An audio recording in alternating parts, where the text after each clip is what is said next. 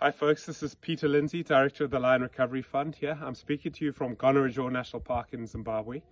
So Gonarezhou is a, is a beautiful place. You can see these are the magnificent Chilojo Cliffs and it's a site where lion populations are recovering. So there's an amazing partnership in place between Frankfurt Zoological Society and the Zimbabwe Parks and Wildlife Management Authority, who together form a wonderful partnership that's, that's allowing wildlife and lion populations to recover.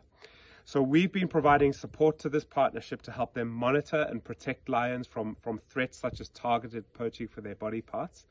And so far that, that close monitoring and protection is working as the population is in recovery mode. So a big thanks to every single one of you who, who have supported us to help us support partnerships like this and conserve magnificent wild places like this. Thank you.